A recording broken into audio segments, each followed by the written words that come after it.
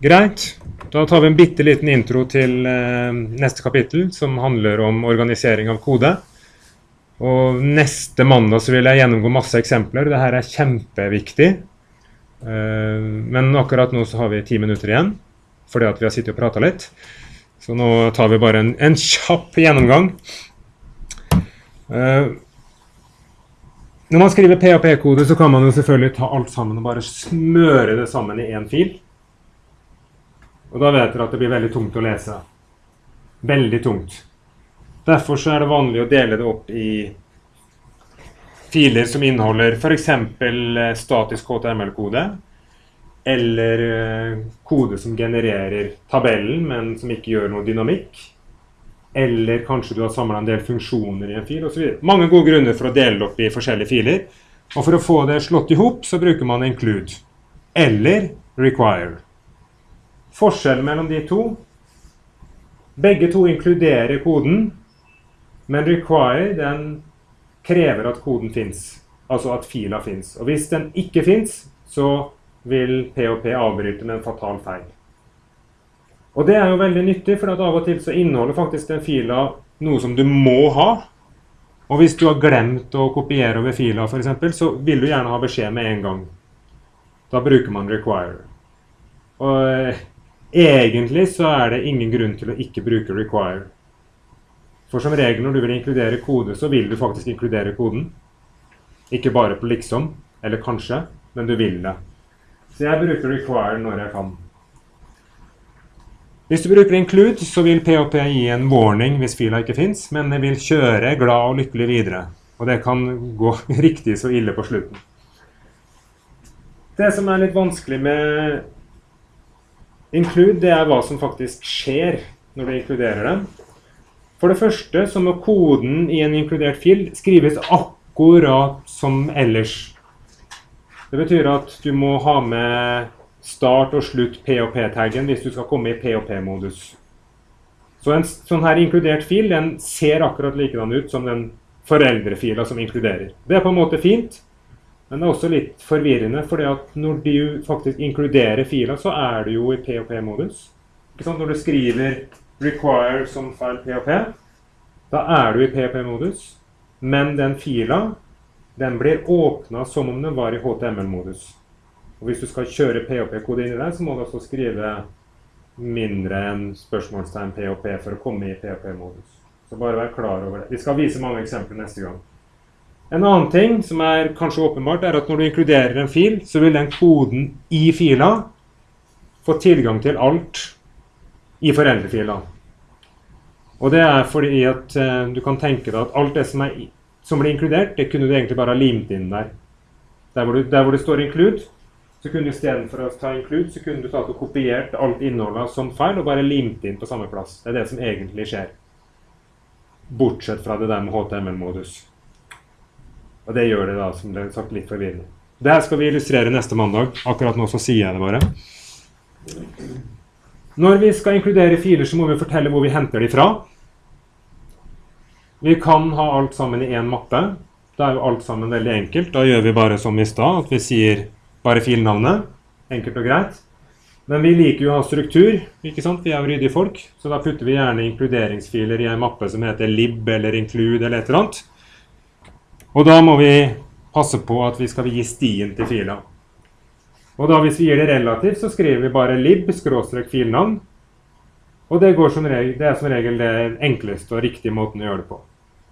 Hvis du begynner å gi absolutte stier der, så er ulempen at hvis du flytter koden din til en annen maskin som har en annen filsystem, hvor mappa di ligger et annet sted, så virker det ikke. Så hva er konklusjonen? Ja, bruk relativ adressering så ofte du kan. Uh, hvorfor inkluderer vi? Jo, det er for å gjøre koden lesbar. Uh, for å skjule ting som på en måte ikke er sentralt for logikken. Typisk er det her Sånn som jeg lagde den tabellen i, i kalendereksempelet, så kunne jeg ha inkludert det hodet av tabellen. Kanskje til og med hodet av HTML-fila òg. For det var ikke det som på en måte var logikken, det var statiske ting som det kunne vært greit å trukket ut. En problemstilling som vi fort kommer i, det er eh, lenker. når vi begynner å lage et eh, hierarki. Fordi at hvor peker ei lenke som har en relativ sti når den blir inkludert? Jo, den peker i forhold til der den blir brukt. Så hvis du har ei lenke som du tror fungerer i ei mappe, og så inkluderer du den samme fila et annet sted, så blir lenka feil. Og det fikser vi som regel med å si, lage en konstant som forteller hva som er basen for eh, nettløsninga vår. Så det skal vi gjøre på mandag. Det som går an, og som dere aldri må gjøre, det er at man kan inkludere kode fra andre nettsteder. Altså man kan eh, slå på noe som heter eh, allow fopen URL eller noe sånt. Det er et direktiv i PHP som lar deg hente inn kode fra et annet nettsted. Og dere skjønner jo at det er døden. Hvis du tillater at folk henter kode fra et annet nettsted, så har vi jo ikke noe kontroll på hva den koden inneholder. Og plutselig så kjører du PHP-kode som ScriptKid i Deluxe har laget for deg, og det går gærent, gærent, gærent. Men det går i hvert fall an. Include kan hente fra over nettet. Det trenger ikke hente fra filsystemet. Men hvis du gjør det, får du opp det i kildekoden hvor det henter fra? sånn, eller? Det, Nei, det er jo du som har skrevet koden, da. Tulling. Men, det skal ikke komme opp i utgangspunktet, så i teorien skulle du hente fra noe du har sjøl? Yes, hvis du henter fra noe du har sjøl. Problemet er at det vanligvis da vil være et domenenavn knytta til det her. Og så mister du kontrollen på det domenenavnet fordi at du glemte å betale domeneavgifta. Ja. Så det, ja, nei, men altså, så det der ikke, ikke gjør det. Inkluder fra filsystemet, ikke bruk include fra andre ting. For det, det, blir så kraftig, for da kjører du som P og P-kode, ikke som noe annet.